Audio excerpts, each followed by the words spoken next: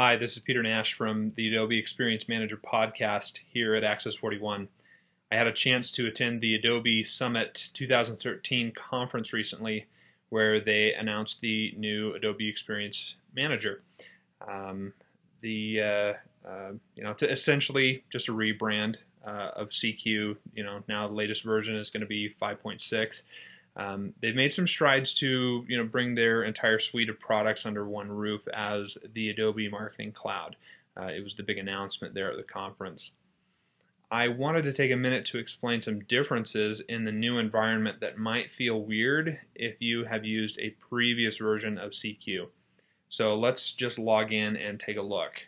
Uh, I am running just a, a local version of the base install, so I'm going to put in admin, admin.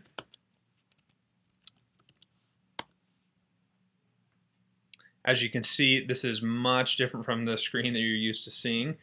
One of the things that Adobe wanted to do was make the system much friendlier for tablet or touch devices. It's unlikely that you're going to want to do the majority of your development and authoring work through such a device, but now uh, you at least have the option. Uh, and I must say that the, the interface is pretty usable from uh, one of those devices. I, I, had a chance to kind of play around with it, and it was it was functional.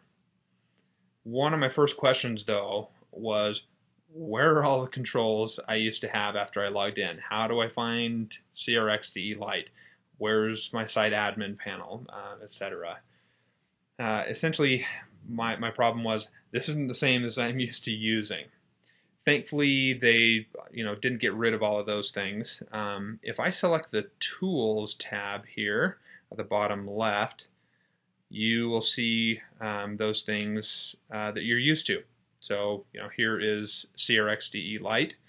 Uh, here is your tag management, um, you know, as well as all of the, you know, the other options that you're used to, to using. But if you are like me and you have to be dragged kicking and screaming when things change, uh, don't worry.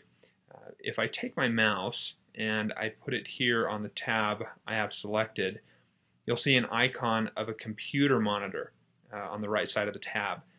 This icon shows up for all of the tabs you see listed uh, when you actually have them selected. But if we click on the icon,